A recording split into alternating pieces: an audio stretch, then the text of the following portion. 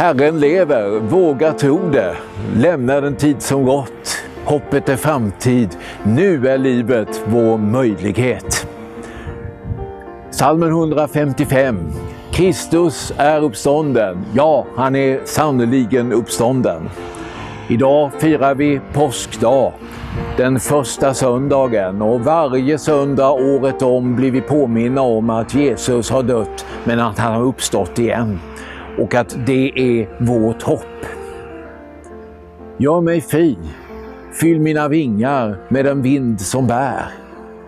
Kom till mig du kärlekens ande, hjälp mig att förnyas och förnya den här världen. Kom till oss med din framtid och ett hopp om att ljuset äntligen har segrat över mörkret. Att döden är tillintetgjord.